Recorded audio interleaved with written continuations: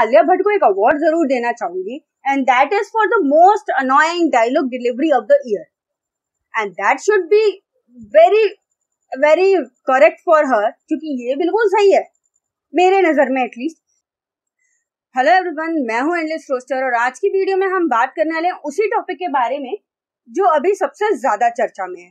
जी हाँ आपने टाइटल तो पढ़ ही लिया है तो हम बात करने वाले हैं सड़क टू के आए हुए ट्रेलर के बारे में। तो बिना देर किए चलिए शुरू करते हैं हमारी वीडियो को।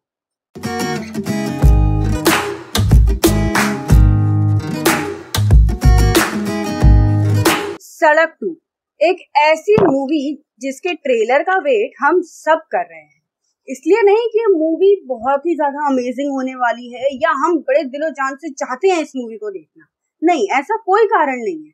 हम इसके ट्रेलर का वेट सिर्फ़ इसीलिए करते आए हैं ताकि इसके ट्रेलर को हम most dislike trailer of Bollywood बना सके। इस ट्रेलर को सबसे ज़्यादा डिसलाइक्स मिलने हैं और ऐसा हम सबने ठाना है। तो जैसे हम बात करते हैं कि हम ऐसा चाहते हैं कि मोस्ट डिसलाइक्ड बने, लेकिन ऐसा सोचने वाले, ऐसा चाहने वाले सिर्फ़ हम नहीं हैं। चाहे हम हो, चाहे हमारे जैसे और कितने सारे लोग हैं जो दूसरे दूसरे देशों में हैं और वहाँ से भी वो यही चाहते हैं। जो कुछ भी एस के साथ हुआ है, उसके बाद ये जो नेपोटिज्म का मुद्दा उठा है ना, इस पे अचानक से जो पब्लिक की नज़र गई है, ये माइंड ब्लोइंग है एक्चुअली तो हम देख रहे हैं कि कैसे सिर्फ़ हम नहीं, हम जैसे कितने हैं, यहाँ पे एक कमेंट है जो कि नाइजीरिया से एक इंसान ने किया है, जो कहता है कि उसे पता भी नहीं है सही से कि कारण क्या है डिसलाइक करने का। पर जैसा कि उसको कहा गया है तो वो भी बाकी लोगों की तरह डिसलाइक कर रहा है। ये जो प्रोडक्शन हाउस है, ये जो हमारा डिस्ट्रीब्यूटर्स हैं, जरा उनके ऊपर भी नज़र डालते हैं। तो सड़क टू को डिस्ट्रीब्यूट करने वाला है डिज्नी प्लस हॉटस्टार अब अगर हम हॉटस्टार की बात करें सिंपली हॉटस्टार ही बुलाने वाली हूँ मैं इसे। तो हम अगर हॉटस्टार की बात कर रहे हैं तो आजकल मैं बड़ा सुन रही हूँ सारे के सारे लोग बोल रहे हैं ना अनइंस्टॉल हॉटस्टार अनइंस्टॉल हॉटस्टार उससे क्या होगा जरा आप लोग मुझे बताएँगे? जो तुम्हारा डिस्ट्रीब्यूटर है, वो तो अब तुम्हें मूवी दिखाना चाहता है। लेकिन उसको तो मतलब महेश भट्ट को मुकेश भट्ट को ये जो मतलब मूवी की कास्ट एंड क्रू है इनको तो पेमेंट ऑलरेडी मिल चुकी है। जैसे ही उसने डिज्नी को बेच दिया डिज्नी प्लस हॉटस्टार को बेच दिया अब हाँ, बेचने के बाद अब जो भी लॉस होगा तो वो हॉटस्टार होगा। सोचो इसके बारे में भी जरा। और साथ ही साथ जो तुम लोग हॉटस्टार की बुराई करो चलो उसने ये मूवी खरीदी। इस उसने तो दिल बेचारा भी खरीदी। वो तो बड़े शान से आपने देखी तब तो डिलीट नहीं किया था। साथ ही साथ अगर मैं बात करूँ आगे आने वाली मूवीज़ के बारे में तो उनमें से सारी मूवीज़ नेपोटिज्म वाली नहीं है। लक्ष्मी बॉम्ब नहीं देखनी क्या तुम लोगों को? और और भी सुनो, और ये सब जो है, तुम अपने प्यारे से आईपीएल को कैसे भूल गए? वो भी तो हॉटस्टार पे ही आएगा। तो अपने फेवरेट इंडिया के त्योहार को मनाने के लिए वापस से तुम हॉटस्टार डाउनलोड कर ही लोगे। तो मतलब पहले अनइंस्टॉल करो और फिर इंस्टॉल करो। फ़ायदा क्या होगा इससे? तो ये मूवी को प्रोड्यूस किया है विशेष फिल्म्स और महेश भट्ट ने। जरा समझ लेते हैं विशेष फिल्म्स क्या है। विशेष फिल्म्स नहीं है वो, विशेष भट्ट फिल्म्स है। तो कई लोग कंफ्यूज कर रहे हैं कि वो विशेष फिल्म्स है तो कोई नॉर्मल इंसान है या कोई और है। तो नहीं, इसमें कंफ्यूज करने की कोई ज़रूरत नहीं है, वो विशेष नहीं, विशेष भट्ट है। तो सड़क टू के स्टोरी के बारे में बात करने से पहले हम जरा सड़क वन, जो कि 1991 में रिलीज़ हुई थी, उसके बारे में बात करते हैं तो उसकी कास्ट कैसी थी? मुकेश भट्ट, महेश भट्ट, रॉबिन भट्ट, पूजा भट्ट, संजय दत्त, परवीन भट्ट, दीपक तिजोरी, सदाशिव, अम्रपुरकर, अवतार गिल, नीलिमा अजीम। ये सारे लोग मिलके बनाते हैं सड़क। ये आप लोगों को नहीं लगता कि इस वाली कास्ट में और हमारी जो सड़क टू की कास्ट है, उसमें कुछ खास डिफरेंस है नहीं। उसमें भी भट्ट भट्ट भरा हुआ था। इसमें भी भट्ट भट्ट भरा हुआ है। मतलब बिना भट्ट के ये भट्ट प्रोडक्शन वाली भट्ट मूवी नहीं चलेगी, है ना? महेश भट्ट, मुकेश भट्ट उस मूवी को भी प्रोड्यूस और डायरेक्ट कर रहे थे। इस बार भी वही हाल है। उसमें भी पूजा भट्ट थी। इस बार पूजा भट्ट के साथ सुखालिया भट्ट भी है। पिछले बार रॉबिन भट्ट भी था इसमें, अभी इस बार नहीं है। इस बार महेश भट्ट नहीं है और भी कुछ कुछ काम संभाल लिए हैं। यहाँ पे और भी कई लोग हैं। संजय दत्त उस वाले में भी था। इस वाले में भी है। तो हम ये भी समझ सकते हैं कि समहाउ ये उसी मूवी की स्टोरी को थोड़ा आगे बढ़ाया गया और फ़िल्म इस ट्रेलर को अगर हम देखते हैं तो भी हमें कुछ कुछ समझ में आता है क्योंकि ट्रेलर की शुरुआत ही संजय दत्त की पुरानी मूवी यानी कि सड़क मूवी के स्टार्ट के मतलब थोड़े बहुत सीक्वेंस को यूज़ करते हुए बनाई गई है। तो अगर हम इस मूवी की स्टोरी की बात करते हैं, मैं सड़क टू की बात कर रही हूँ तो ये भी पिछली मूवी की तरह एक लव स्टोरी है। और मैं कह सकती हूँ कि बॉलीवुड की हर दूसरी मूवी की तरह एक लव स्टोरी है। और इसमें बहुत ही अनयूजुअल सा कॉन्सेप्ट है विच इज़ बदला। आज से पहले इसका नाम किसी मूवी में हमने कभी सुना ही नहीं। बदला क्या होता है? इसके बारे में तो अब हमें यही मूवी सिखाएगी। क्योंकि इससे पहले कभी भी बदला टॉपिक पे कोई मूवी कहाँ बनी है? तो जैसे ही आज सुबह ये मूवी का ट्रेलर रिलीज़ किया गया जस्ट अ सेकेंड आज क्यों रिलीज़ किया गया? ये रिलीज़ तो कल ही होने वाला था ना। कल पूरा दिन हम लोगों ने वेट किया था कि ये रिलीज़ होए और हम इसके बारे में एक वीडियो बनाए थोड़ा सा इसका रोस्ट किया जाए।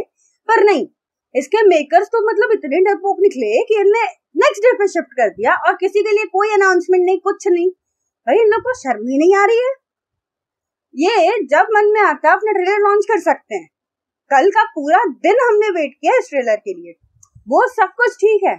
अब सबसे महान बात तो ये है कि इस वीडियो को डिसलाइक करने के चक्कर में इस वीडियो को इतने व्यूज़ मिल गए हैं कि ये इंडिया में ट्रेंडिंग ट्रेंडिंग पे है नंबर वन पे। यार नंबर वन पे?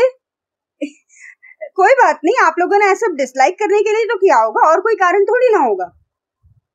तो हम जैसे बात करते जा रहे हैं तो जैसे ही ट्रेलर लॉन्च हुआ ट्रेलर रिलीज़ हुआ, उसके बाद आलिया भट्ट मैडम ने भी इसे शेयर किया ऑब्वियसली इंस्टाग्राम पे आईजी टीवी पे इसके शेयर किया।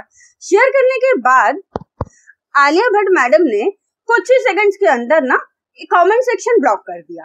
कमेंट सेक्शन ब्लॉक करने से लेकर रिलीज़ मतलब रिलीज़ टू ब्लॉक का जो ड्यूरेशन रहा ना, इतनी देर में इन्हें कुछ कमेंट्स मिल गए। मेरे ख्याल से मुझे कहना चाहिए, कुछ पेड कमेंट्स मिल गए, कुछ पेड लाइक्स मिल गई इन्हें। और लोगों ने कमेंट में भर भर के तारीफें कर दी। मुझे बता दीजिए कि आप और मैं हम में से कोई जाके तारीफ़ तो किया नहीं है। तो ये तारीफ़ करने वाले लोग कौन है? कौन है ये लोग? कहाँ से आते हैं आप खुद ही देखिए इन लोग को ये सारे बिके हुए कमेंटेटर्स हैं इन सबने। बड़े मज़े से पैसे खाए हैं और बड़े मज़े से कमेंट किया क्योंकि साफ़ साफ़ समझ में आ रहा है कि एक मूवी के ट्रेलर को जो पूरे देश में इनफैक्ट देश से बाहर भी जिसे इतना हेट मिल रहा है, उसके कमेंट सेक्शन ब्लॉक होने से पहले जो कुछ लोगों ने कमेंट किया, उन सब के सब ए टू जेड सारे कमेंट्स पॉजिटिव कैसे हो सकते हैं? और महान तो ये वाला है, जिन्होंने महाशय ने मास्टर पीस लिखा है। मतलब इससे बेहतर मूवी इससे बेहतर मूवी का ट्रेलर तो इस इंसान को आज तक दिखाई नहीं है। तो जैसा कि हमें पता है कि इस मूवी की कास्ट में है संजय दत्त, आलिया भट्ट, पूजा भट्ट, आदित्य रॉय कपूर। थैंकफुली मुझे इनके नाम याद रहे। तो ये सब जो है इनके वजह से कह सकते हैं कि मूवी फ्लॉप होने वाली है। तो अगर हम संजय दत्त की बात करें तो आज सुबह ही हमने न्यूज़ में कुछ सुना। मुझे नहीं पता वो प्लान था या गलती से हुआ या आई डोंट नो पर जो हमने न्यूज़ सुनी है या मुझे उसमें कोई ताज्जुब नहीं हो रहा है। इसमें न्यूज़ आई है कि संजय दत्त को हो गया है लंग कैंसर वो भी थर्ड स्टेज ठीक है लंग कैंसर हो गया तो आप एक ड्रग एडिक्ट की लाइफ में क्या एक्सपेक्ट करते हैं? एक इंसान जो कंटिन्यूसली अपनी लाइफ को ड्रग्स ले लेके बर्बाद कर रहा था, उसकी लाइफ में अगर कैंसर जैसी बीमारी नहीं आएगी तो क्या होगा? और हम और भी अगर बात करें तो यहाँ मैंने कुछ कमेंट्स पढ़े, जिसमें बात हो रही थी आदित्य रॉय कपूर के बारे में। यहाँ पे महान महान लोग क्या कह रहे हैं कि आदित्य रॉय कपूर भी एक आउटसाइडर है। तो उन जैसे लोगों के ज्ञान के लिए बता दूँ, आदित्य रॉय कपूर एक आउटसाइडर नहीं है। आदित्य राय कपूर जो है, वो विद्या बालन का देवर लगता है। पता नहीं कौन से लॉजिक से वो आउटसाइडर हो गया। एक तो उसके नाम में कपूर लोगों को दिख क्यों नहीं रहा है, वो मुझे समझ नहीं आ रहा। और रिलेशन एक बार चेक कर लेते ना। एक बार थोड़ा सा गूगल पे नाम डाल के थोड़ा सा रिश्तेदारी सिबलिंग्स वगैरह चेक करते ना, आराम से पता चल जाता कि कौन किसका रिश्तेदार हो रहा है और कौन किसका रिश्तेदार नहीं हो रहा है। और अगर हम बात करते हैं तो कई लोग कह रहे हैं कि संजय दत्त की आखिरी मूवी हो सकती है तो इसे प्लीज़ डिसलाइक मत कीजिए। तो अगर संजय दत्त की आखिरी मूवी है तो उसने अपने जो भी करियर में किया है ना आप उनको देख लीजिए भाई क्योंकि उसने अपनी लाइफ में जो कुछ भी उस इंसान ने कर रखा है ना उसके बाद मेरे पास एक पॉइंट एक परसेंट का भी कोई लॉजिक नहीं बनता है कि उसके लाइफ रिलेटेड या उसकी जो जहाँ पे भी एग्जिस्ट करता है उस चीज़ को मैं लाइक करूँ। आप बताइए एक इंसान जो ड्रग एडिक्ट रहा है जो आ, आ, जिसने अपने घर में इलीगली वेपन्स रखे थे, वो जो इंसान जेल में सजा काट के आया है, अब वो जेल ना, ब्रिटिशर्स का जेल नहीं था, इसलिए ये मत कहिएगा कि गांधी जी भी जेल में सजा काट के आए थे। ठीक है? तो जो इंसान जेल में सजा काट के आ चुका है मतलब वो एक क्रिमिनल है। ये तो मानते हैं ना आप लोग। तो जो इंसान एक क्रिमिनल है, उस क्रिमिनल को क्यों मैं इतना सपोर्ट कर सकती हूँ? मैं नहीं कर सकती। और भी बहुत सारे लॉजिक होते हैं जो आप लोगों को देखना चाहिए। आदित्य रॉय कपूर के बारे में सब बात कर रहे हैं इस मूवी में। आप मुझे एक चीज़ बताइए, आदित्य रॉय कपूर की पिछली मूवी कौन सी याद है आपको? मेरे हिसाब से मुझे जो उसकी मूवी वाइज याद रही है ना, वो है आशिकी टू। और वो उसके वजह से नहीं उस मूवी के गाने इतने अमेजिंग थे कि उसकी वजह से वो मूवी सबको याद रह ही जानी थी। और वो मूवी के सुपर हिट होने का एक और कारण है, और वो है आशिकी वन। लेकिन ये लॉजिक सड़क टू पे नहीं होगा, है ना? सड़क टू सड़क वन की वजह से हिट नहीं होनी चाहिए। चाहे सड़क वन कितनी हिट रही हो अपने साल में, अभी हमें पता है कि सड़क टू की रियलिटी क्या है। और साथ ही साथ अगर हम आदित्य रॉय कपूर की बात कर ही रहे हैं तो एक और जानकारी आप लोगों के पास होनी चाहिए कि आदित्य रॉय कपूर वही एक्टर है, जिसने सुशांत सिंह राजपूत को फितूर में रिप्लेस किया था। अभी भी आप उसको सपोर्ट करना चाहते हैं, अभी भी आप कहना चाहते हैं कि वो एक आउटसाइडर है तो भाई, मैं क्या ही कर सकती हूँ? इतनी देर से हम बाकी कास्ट के बारे में बात कर रहे थे, पर हम इस फ़िल्म की लीड एक्ट्रेस को तो भूल ही गए। And she is Alia Bhatt और आलिया भट्ट अगर मूवी में हो और उसकी चर्चा ना हो तो ये भाई बेचारी के साथ ना इंसाफी हो जाएगी। तो अगर हम वन बाय वन कुछ कुछ फ़ोटोज़ देखें उसकी, इस मूवी के ट्रेलर में जो मुझे दिखी है तो पहली पिक्चर जो मुझे दिख रही है, इसमें अगर मैं बोलूँ कि कौन कहेगा इस एक्सप्रेशन के साथ कि ये लड़की एक गाड़ी की बुकिंग करने के लिए आई है उस इंसान के पास? अरे कौन किसी कैब ड्राइवर या कोई भी ड्राइवर से आके ऐसे एक्सट्रीम कंडीशन वाली फेस बना के बोलता है कि मेरी बुकिंग है आज की? मुझे कैलाश जाना है। और ये कैलाश वाले पॉइंट है, ये क्या माइथोलॉजी का पॉइंट घुसा रहे हैं आप लोग? तो अगले पिक्चर के बैकग्राउंड में इसका सोच वाले डायलॉग्स चल रहे थे, जिसमें ये सोच रही थी मैडम कि इसे बदला लेना है।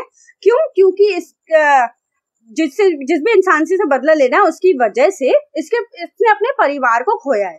फिर एक बार एक्सप्रेशन को देखिए और बदले वाले थॉट के बारे में सोचिए। बदले के एक्सप्रेशन तो इसके चेहरे पे मुझे दूर दूर तक नहीं लग रहे। इसके बाद ये मैडम अपने कैब ड्राइवर से बात कर रही हैं अबाउट प्यार। ये कौन करता है ऐसी बातें? बोलती है मैडम कि आजकल लोग व्हाट्सएप पे प्यार करते हैं और व्हाट्सएप पे ही तोड़ भी देते हैं। अच्छा वेरी गुड पूरे ट्रेलर में जो मुझे एक अच्छी चीज़ दिखी, वो थी मकरन देश पांडे की एक्टिंग हाँ संजय दत्त ने भी अच्छा एक्ट किया है, उसमें कोई डाउट नहीं है, पर इनकी एक्टिंग काफ़ी पसंद आई मुझे। लेकिन ये लोग बिना आ, किसी ऐसा टची सा पॉइंट को उठाए बिना ये मूवी बना नहीं सकते। इन लोगों ने इस वाली मूवी में बात की है भगवान शिव की कैलाश की मतलब इन टोटल हिंदुइज्म के बारे में ये थोड़ा सा कॉन्सेप्ट घुमाने की कोशिश की गई है या कहें हिंदू पब्लिक को खींचने की कोशिश की गई है। पर मुझे एक चीज़ बताइए कहीं माइथोलॉजी और कहीं पैट्रियोटिज्म मतलब उधर आपने जानवी कपूर की मूवी में, जो कि श्रीदेवी की बेटी या कहीं अर्जुन कपूर की बहन है उसकी जो मूवी आने वाली है, उसके अगर हम बात करें, उसमें आपने एक देशभक्ति की भावना के तहत आपने एक कार्ड खेल लिया। अब यहाँ पे आप माइथोलॉजी से खेल रहे हैं।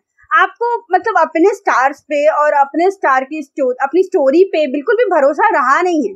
अब इसके बाद वाले सीन में वापस से आलिया भट्ट संजय दत्त को एक डायलॉग कहती है विच इज़ रवि जी, क्यों कर रहे हैं आप ये सब? मैं तो सिर्फ़ एक पैसेंजर हूँ। और इस, लड़की ने ना इससे भी बुरे वे में डायलॉग डिलीवरी की है। मतलब एक पैसेंजर के लिए एक दूसरा एक कैब ड्राइवर इतना सब कुछ कर रहा है लड़ रहा है और न जाने क्या क्या कर रहा है उसे बचा रहा है। और उसमें वो लड़की इस एक्सप्रेशन के साथ ऐसा सवाल पूछती है। मतलब एक तो इसके सवाल और एक्सप्रेशन मैच ही नहीं कर रहे। मतलब एक तरफ़ ये लड़की करती है राज़ी जैसी ब्रिलियंट मूवीज़ और दूसरी तरफ़ इसके एक्सप्रेशन और इसकी डायलॉग डिलीवरी को ये कचरा सूख जाता है, पता नहीं क्या कर जाती है ये। और इस वाले एक्सप्रेशन की तो बात ही निराली है। इसमें मैडम ने कहा है कि ऊपर वाला हमारे साथ है इस सड़क पे। तो मूवी का नाम कहीं तो लेना पड़ेगा ना, ज़बरदस्ती ही सही। तो यहाँ पे मैडम ने सड़क का नाम ले लिया है। लेकिन मुझे एक चीज़ बताइए, ये डायलॉग बोलने के लिए चीखने की क्या ज़रूरत थी? आप लोगों ने भी ट्रेलर देखा ही होगा डिसलाइक करने के लिए तो जरा एक बार ध्यान देंगे अगर इस पॉइंट पे। मैडम बहुत तेज चीखी थी। तो अगर आपके पास कोई इम्पैक्टफुल डायलॉग नहीं है तो इसका मतलब ये नहीं है कि आप उसे इम्पैक्टफुल बनाने के लिए चीखेंगे। क्योंकि कोई भी बात अगर आप पब्लिक तक पहुंचाना चाहते हो तो वो डायलॉग वैसा रखिए ना। छोटा से छोटा डायलॉग भी लोगों को याद रह जाता है, छोटी से छोटी चीज़ ट्रेंड कर जाती है, लेकिन उसके लिए चिल्लाना ज़रूरी नहीं है। तो इस वीडियो को एंड करने से पहले मैं आलिया भट्ट को एक अवार्ड ज़रूर देना चाहूँगी and that is for the most annoying dialogue delivery of the year and that should be very very correct for her क्योंकि ये बिल्कुल सही है, मेरे नज़र में एटलीस्ट इन मैडम को एक अनोइंग डायलॉग डिलीवरर का अवार्ड तो दे ही देना चाहिए. So that is it for today अगर आप लोगों को वीडियो पसंद आई हो तो प्लीज़ चैनल को सब्सक्राइब कर दीजिएगा. वीडियो को लाइक बिल्कुल कर दीजिएगा. और अगर कोई भी सजेशन हो तो कमेंट में ज़रूर बताइएगा. कोई और टॉपिक हो जिसपे आपको वीडियो बनवानी हो तो भी आप कमेंट सेक्शन में लिखिए. अपने दोस्तों के साथ शेयर कीजिए और डिसलाइक ज़रूर कीजिएगा। Don't forget hashtag boycott Sadak two.